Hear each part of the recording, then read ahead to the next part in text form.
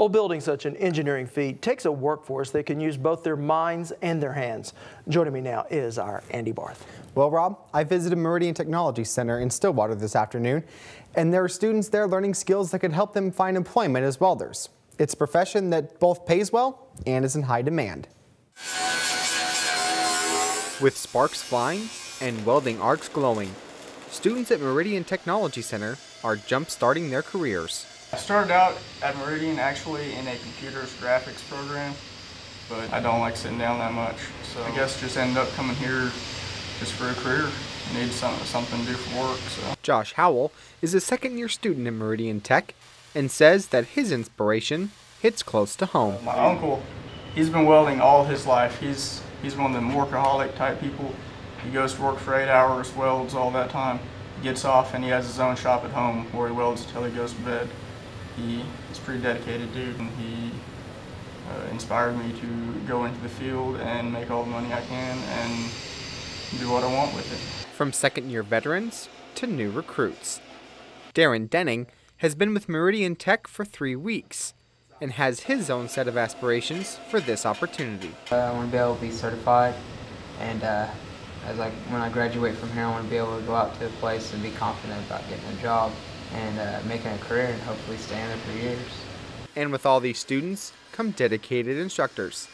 John Gibson is the precision metal fabrication instructor at Meridian. We have two types of students. One are your traditional high school students that can come as juniors. Um, they can spend a half a day in, in any program for two years, so their junior year and their senior year, and they'll be completers when they graduate high school. They'll be ready to go out and, and get a job. And then we have the adult students, the non-traditional, that may have, you know, decided to make a career change or got laid off from a job and, and they're looking to further enhance their, their skill levels. No matter what type of student they are, Gibson says it is a proud moment when they complete the program. The number one goal for us as instructors is to get these guys jobs because they come in here looking to us and they're kind of putting their lives, you know, the next year, two years of their lives is in our hands. So um, you know, there's, there's some pressure on us because we don't want to screw them up and we want to take them out of here as quick as we can, but yet let them learn as much as they can. And although the economy has seen better days, Gibson says welders have nothing to worry about. We've had welding for a long time, um, and we're going to continue to have welding. As long as there's infrastructure built in, in America or worldwide, um, there's always going to be welding. But you can't replace it you know, we can automate it, automate it um, in, in certain areas of industry, but you're never going to replace the guy getting out there and dropping the hood and welding.